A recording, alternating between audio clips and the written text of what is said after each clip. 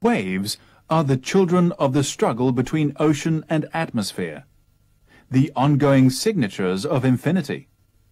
Rays from the sun excite and energize the atmosphere of the earth, awakening it to flow, to movement, to rhythm, to life. The wind then speaks the message of the sun to the sea, and the sea transmits it on through waves, an ancient, exquisite, powerful message. These ocean waves are among the Earth's most complicated natural phenomenon.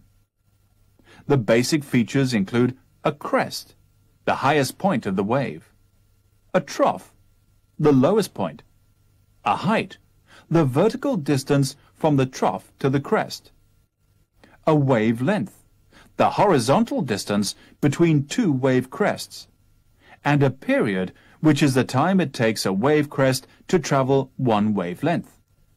Although an ocean wave gives the impression of a wall of water moving in your direction, in actuality, waves move through the water, leaving the water about where it was. If the water was moving with the wave, the ocean and everything on it would be racing in to the shore with obviously catastrophic results.